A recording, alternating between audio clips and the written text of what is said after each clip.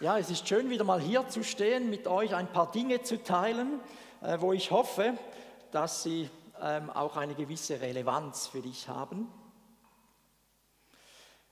Äh, die, die Predigt oder den Gottesdienst heute könnte man sagen, er ist äh, so herausfordernd und dann mit einer ähm, ermutigenden, inspirierenden Auflösung. Das wäre so der Plan. Ich hoffe, ihr erlebt das auch so. Ja, wir sind beim dritten H, bei der Hand, Annette hat es schon gesagt, angekommen. Schaut mal eure Hände an. Wozu hat Gott uns Hände gegeben? Zum Schaffen, genau. Und was sollen wir schaffen? Etwas Gutes, oder? Wir sollen etwas Gutes schaffen. Dafür haben wir Hände. Wir sollen nicht Fäuste machen und einander die Köpfe einschlagen, sondern Gott hat uns Hände gegeben, um etwas Gutes zu schaffen. Das wäre der Plan.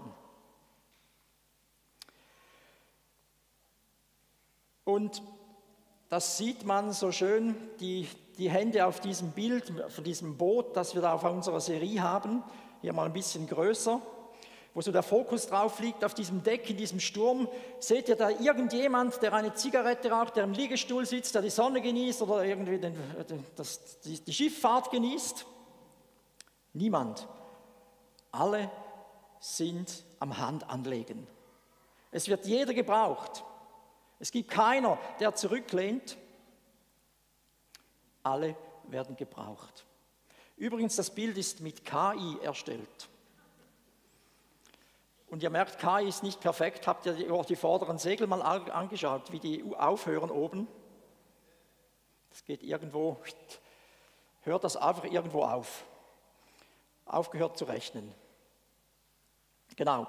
Also, auf Deck und werden alle gebraucht und dieses, dieses Boot, dieses Schiff wird ja, ist ja ein, ein Bild für unser Lebensboot, unser Lebensschiff, das immer wieder mal in Stürme kommt, manchmal mehr, als dass uns das lieb ist.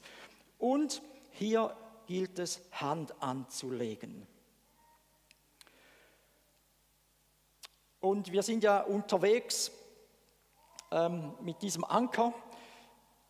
Freude haben wir begonnen, Relevanz und dann geht es weiter mit Orientierung und Heiligung im Sturm. Also dem Handeln kommt in den Stürmen des Lebens eine relevante Bedeutung zu. Das Hirn, mit dem wir uns schon beschäftigt haben, beschäftigt haben, die Gedanken, das Herz, das ist nicht einfach nur da, dass es uns gut geht, sondern es will uns ins Handeln bringen. Und auch das Handeln soll uns in diesen Stürmen ähm, eben Stabilität, Sicherheit geben, einen Anker sein. Und wir können mit gutem Recht, glaube ich, sagen, mit guter Überzeugung sagen, das Reich Gottes. Und jetzt wir als Kirche hier, als Verkörperung des Reich Gottes in dieser Welt, sollen gerade auch in den Stürmen dieser Welt eben nicht zurück, zurücklehnen, den Liegestuhl nach vorne holen, einfach genießen, was es rausholen, was es rauszuholen gibt aus dem Leben, sondern wir sollen Reich Gottes gestalten, aufbauen. Und ich habe euch zwei Bilder. Eines, das das Reich Gottes eben nicht ausdrückt und eines, das in meinen Augen das Reich Gottes sehr gut ausdrückt. Das erste Bild ist das Olympiastadion in Paris. Und in diesem Stadion hat es ganz viele Zuschauer, viele, viele, viele Zuschauer und ganz, ganz, ganz wenige, die unten den Kampf ihres Lebens kämpfen, jahrelang trainiert. Die kämpfen und legen Hand an und alle oben genießen es und staunen da herunter, sind Zuschauer. Das Reich Gottes ist nicht ein Olympiastadion, wo ganz viele zuschauen und ganz wenige den Kampf kämpfen ihres Lebens. Das Reich Gottes gleicht vielmehr einer Familie. Was zeichnet eine Familie, eine gesunde Familie aus? Dass jeder in der Familie eine Mitverantwortung trägt, dass er mit diese Familie, mit diese äh, Familie mitgestaltet. dass er dabei ist, dass er mit seinen Gaben, mit seinen Möglichkeiten einen Beitrag leistet, dass diese Familie funktioniert. Und ich glaube, dieses Bild verkörpert sehr schön, was das Reich Gottes ist, was unsere Aufgabe als Kirche ist. Wir sind eingeladen, mit Hand anzulegen. Wir sind eingeladen, mitzugestalten. Und Paulus sagt das mal sehr schön den Korinthern, Kapitel 3, Vers 5, wo er sagt, denn wir sind Gottes Mitarbeiter. Wir legen mit Gott Hand an. Und damit meint er nicht, wir sind irgendwie so unbedeutende Zubringer, so ein bisschen Handlanger, sondern in diesem Wort Mitarbeiter steckt das griechische Wort Synergos. Und da hört man schon Syner, Synergos, da hört man das Wort Synergie. Also er meint damit, dass wir ja, dass da Gott ist und dass da wir sind und dass da der Mensch und dass Gott mit Gott zusammen eine Synergie bilden und miteinander eben Hand anlegen, miteinander etwas gestalten, das relevant ist.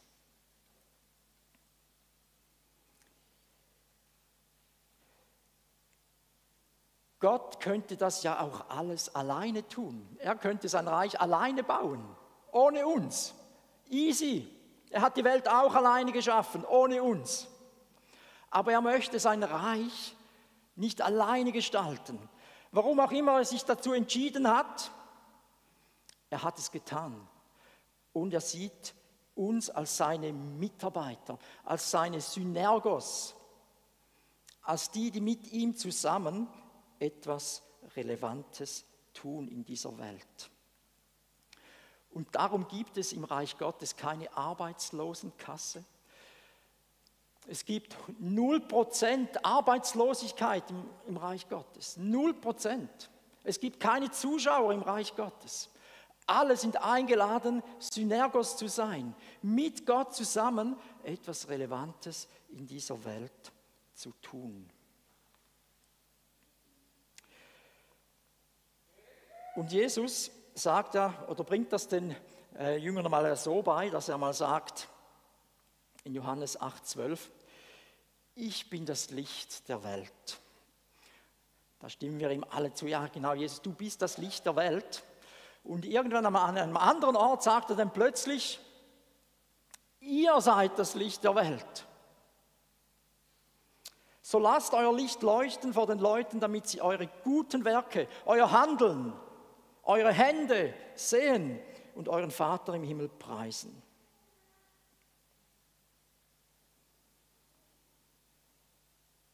Ihr seid das Licht der Welt. Du bist das Licht der Welt. So lasst euer Licht leuchten vor den Leuten, damit sie eure guten Werke sehen, das Handeln und euren Vater im Himmel preisen. Und nicht genug, er doppelt gleich noch nach Jesus und sagt praktisch das Gleiche mit einem anderen Bild, mit dem Bild vom Salz. Ihr seid das Hals der Erde. Und wir merken, Gott gibt uns Menschen, Gott gibt dir eine unglaublich, unfassbare, große Bedeutung in seinem Reich. Wir haben nichts weniger, wir sind nichts weniger als dazu berufen, Licht und Salz in dieser Welt zu sein. Und Jesus legt dann nochmals ein, ein, eine Schippe obendrauf und sagt dann irgendwann mal noch im Johannes Kapitel 14, Vers 12, wahrlich, wahrlich, ich sage euch, wer an mich glaubt, also wer an mich glaubt, also nicht nur auf die Apostel, die an ihn glauben oder die, die, die ersten Christen, die an ihn glauben, sondern ganz allgemein, wer an mich glaubt, und glaubst du an Jesus? Dann gilt das Folgende jetzt für dich. Der wird die Werke auch tun, die ich tue, und wird Größeres als dieses tun, denn ich gehe zum Vater. Eine unglaubliche Aussage. Ich verstehe sie bis heute nicht. Aber offenbar ist es das, was Gott sieht über uns und das, was er tun möchte. Zweifelt noch jemand daran, dass wir irgendwie relevant, nicht relevant sind im Reich Gottes? Wie gesagt, es gibt keine Arbeitslosigkeit, 0,00 Prozent, sondern jeder Nachfolger, jede Nachfolgerin, du und ich, wir sind berufen, relevant zu sein in dieser Welt. Gott will durch dich und mich einen Unterschied ausmachen. Er will es nicht alleine tun, nochmals, sondern mit dir zusammen. In einer Reich Gottes Familie, wo jeder ein Stück der Verantwortung mitträgt, mit Hand anlegt, mit seinen Möglichkeiten, mit seinen Gaben. Nicht Gott selber macht es. Er hat es auch nicht den Engeln delegiert. Nicht die Engel werden das Reich Gottes aufbauen, sondern wir sind das Salz dieser Erde mit Gott zusammen. Wir sind das Licht dieser Erde mit Gott zusammen. Und das kann ja wirklich nichts anderes bedeuten, als dass wir eine relevante, bedeutungsvolle Aufgabe haben als Kirche zusammen. Stimmt's? Und wenn du bis, mir bis hierher zugestimmt hast, dann stellen sich natürlich in Anbetracht dieser Herausforderung, dieser hohen Berufung, die wir haben, ein paar Fragen.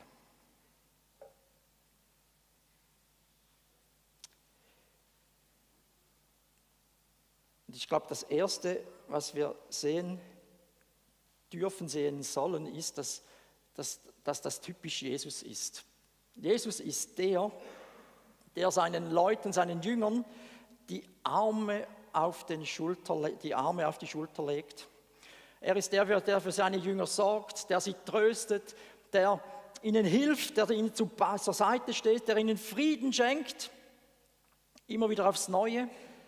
Und gleichzeitig ist es auch derselbe Jesus, der seine Nachfolger immer wieder gerne herausfordert, der einen Schritt fordert, der Mut braucht. Und es gibt viele schöne Beispiele, wie Jesus das macht mit seinen Jüngern. Eines möchte ich mich mit euch jetzt teilen, wo Jesus so einen richtigen Challenge macht mit seinen Jüngern. Ihr kennt alle, oder die meisten von uns kennen die Geschichte, wo Jesus da auf dem Feld weit draußen ist. Eine Riesenmenge von Leuten ist nach draußen gekommen, sie wollen Jesus hören. Sie die Bibel spricht von 5000 Männern und da kommen noch die Frauen dazu und die Kinder, also eine Riesenmenge. Also fast ein Olympiastadion voll, nicht ganz, genau. Riesenmenge. Und die, die Jünger, die realisieren so dann gegen Ende des Tages, uiuiui, die Leute, die haben ja Hunger. Was machen wir? Und sie sind, ähm, ja, sie sind da auf Zack und sagen, Jesus, du, Jesus, äh, ich glaube, jetzt wäre mal gut, du, du machst mal eine Pause und wir schicken die Leute in die Dörfer und da sollen sie dann Essen kaufen und sich wieder stärken. Und dann, äh, ja, dann hat Jesus nicht gesagt, ja, genau so machen wir es. Guter Vorschlag, machen wir genauso. Was sagt Jesus in diese Situation hinein? Es ist nicht nötig. Dass sie fortgehen. Gebt ihr ihnen zu essen. Paff. Gebt ihr ihnen zu essen. Legt ihr Hand an. Übernehmt ihr jetzt Verantwortung. Und dann gingen sie und kratzten das zusammen, was sie, das Menschenmögliche, kratzten sie zusammen, die fünf Brote und die zwei Fische. Stellt euch mal vor, die, die, die, diese Körbe mit fünf Broten, zwei Fischen und eine Riesenmenge von Leuten, die Hunger hat. Eine Unmöglichkeit. Aber sie haben es gemacht. Sie haben das wenige zusammengekratzt. Was haben sie damit gemacht? Sie haben es zu Jesus gebracht. Und was hat Jesus damit gemacht? Er hat seinem himmlischen Vater im Himmel gedankt dafür. Wir merken, hier geht das, das Miteinander von diesem Mensch und Gott und es fängt sich an zu vermehren und sie fangen an, das Essen auszuteilen und alle haben schlussendlich genug. Genug an leiblicher Nahrung, aber sie haben auch genug an seelischer Nahrung bekommen an diesem Tag. Gebt ihr ihnen zu essen. Ihr seid berufen, Salz und Licht in dieser Welt zu sein.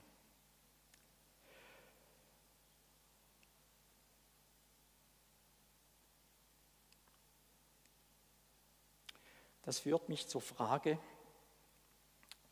und vielleicht, vielleicht auch dich, wie siehst du dich in diesem Zusammenspiel, in dieser Synergie von Gott und Mensch? Siehst du diese Berufung über deinem Leben, einen Unterschied auszumachen in dieser Welt, an diesem Ort, wo du unterwegs bist in deinem Leben? Sehe ich mich als vollwertigen Synergos, als Mitarbeiter, Mitarbeiterin Gottes?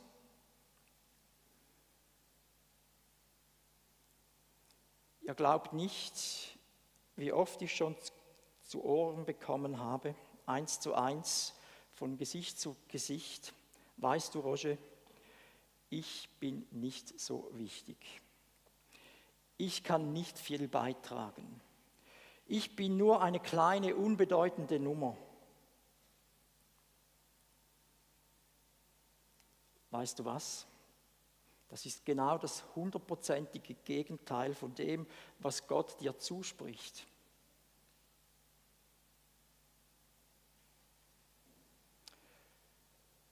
Du hast Bedeutung und Relevanz für diese Welt. Eine Bedeutung, eine Relevanz, die Gott sei Dank nicht von uns selber kommt, sondern die von Gott kommt. Ja, es stimmt vielleicht. Du kannst nicht viel beitragen. Fünf Brote, zwei Fische, das war nicht gerade viel. Aber sie haben es beigetragen.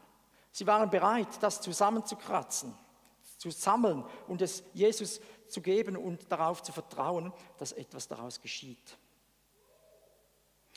Und das ist das so, so läuft Reich Gottes. Wir bringen das wenige, das wir haben, vertrauensvoll vor Jesus und wir vertrauen darauf, dass Gott, der Vater im Himmel, etwas daraus macht, sein Reich gestaltet. Er macht aus dem wenigen etwas Reich Gottes taugliches. Und ich hätte einen Vorschlag heute Morgen an euch alle. Immer, wenn jemand in der Gemeinde zu dem Satz ausholt, ach, ich bin nicht so wichtig, mein Beitrag ist nicht so wichtig. Ähm, ich, ja, ich bin nicht so begabt. Was will er Gott mit mir anstellen? Dass ich dir tief in die Augen schauen darf. Und dann sage ich, aber. Und du sagst mir dann, aber Gott will, dass ich mit diesem wenigen dass mit diesem wenigen ein Unterschied geschieht. Er will mit diesem wenigen diese Welt verändern, Menschen verändern, Leben verändern. Er will mit diesem wenigen in deinem Umfeld wirken. Das ist das Geheimnis vom Reich Gottes. Jesus sagte mal, das Reich Gottes ist wie ein kleiner Sauerteig, der den ganzen Teig durchsäuert. Am anderen Ort lesen wir, dass der Heilige Geist, der ist nicht einfach wie eine Bombe, der einschlägt, sondern ist oft ein Säuseln, ein säuselnder Wind, etwas ganz Leises, etwas ganz Ruhiges, etwas ganz Verstecktes.